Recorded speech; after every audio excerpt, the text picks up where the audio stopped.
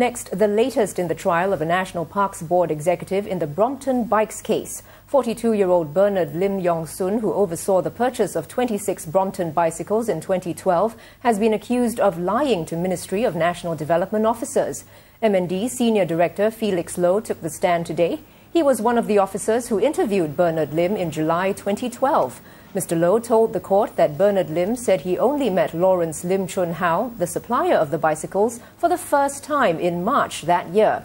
Bernard Lim told him he did not know 50% of his Facebook friends. He also allegedly denied that he knew the supplier, Lawrence Lim, before the bid.